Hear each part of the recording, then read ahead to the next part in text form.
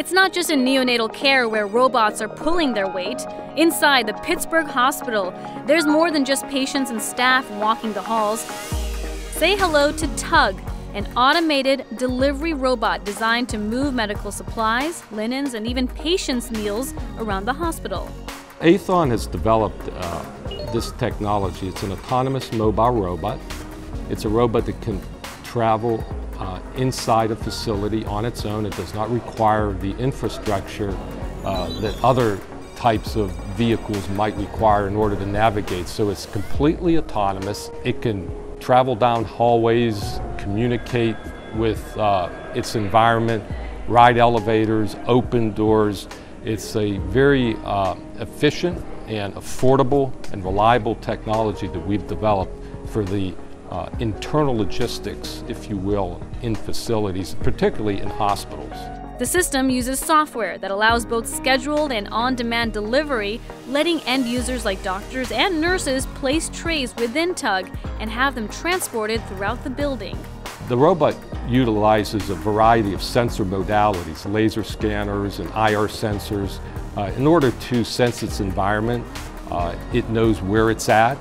Fitted with a biometric fingerprint scanner and capable of carrying more than a thousand pounds at a time, the machine's no lightweight. But that doesn't mean he can't play well with colleagues. As the robot navigates uh, through the hospitals, it does make people aware of what it's doing. So there are uh, certain uh, voice commands that it will uh, say as it travels. If somebody gets in its way, it'll kindly ask them to move aside. As it's waiting for an elevator, it'll tell people it is waiting for an elevator. But the technology really tries to work uh, within the, the institution. And whilst Tug might lack the human touch, you'd be wrong if you thought that would prevent it from storming other markets too.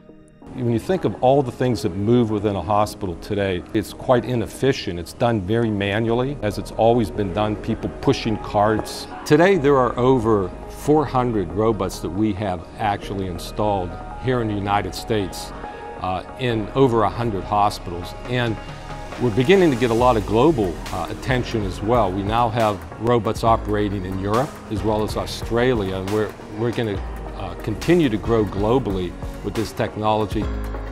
And what about the costs of TUG and impacts on existing jobs? The company says that's really not something most organizations and even employees will worry about. There are definitely applications where robots are more suited uh, for the work than humans.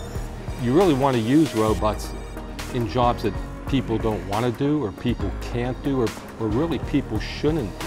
So when you look at people pushing heavy carts, do you really want them doing that? Uh, probably not. And in a hospital setting, you don't want clinicians like nurses, technicians, doing tasks that are uh, delivery tasks. I mean, they're trained to do uh, what I call more high-touch patient care activities, and that's what you want your clinicians doing. Meaning this medical robot looks set to keep on tugging, pulling the industry forward.